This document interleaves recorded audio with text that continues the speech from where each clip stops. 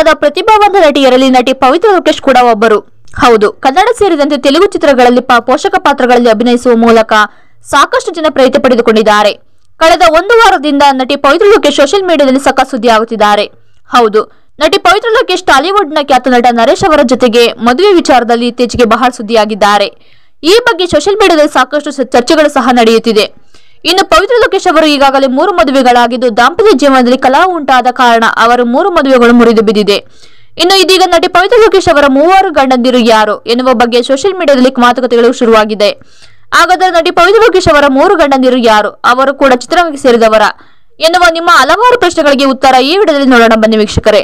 ಹೌದು ನಟಿ ಪವಿತ್ರ ಲೋಕೇಶ್ ಅವರು ಕನ್ನಡದ ಹಲವಾರು ಸಿನಿಮಾಗಳಲ್ಲಿ ದೊಡ್ಡ ದೊಡ್ಡ ಸ್ಟಾರ್ ನಟರ ಜೊತೆಗೆ ಪೋಷಕ ಪಾತ್ರಗಳನ್ನು ನಟಿಸುವ ಮೂಲಕ ಸಾಕಷ್ಟು ಜನ ಪ್ರೀತಿ ಪಡೆದುಕೊಂಡಿರುವ ನಟಿ. ಇನ್ನು ಪವಿತ್ರ ಲೋಕೇಶ್ ತಮ್ಮ ಚಿಕ್ಕ ವಯಸ್ಸಿನಲ್ಲಿ ವೃತ್ತಿಯಲ್ಲಿ ಸಾಫ್ಟ್ವೇರ್ ಇಂಜಿನಿಯರ್ ಆಗಿದ್ದ ಆರು ವ್ಯಕ್ತಿಯನ್ನು ಮದುವೆಯಾದರು. ಆದರೆ ಈ ಮದುವೆ ಸಾಕಷ್ಟು ದಿನ ಉಳಿಯಲಿಲ್ಲ.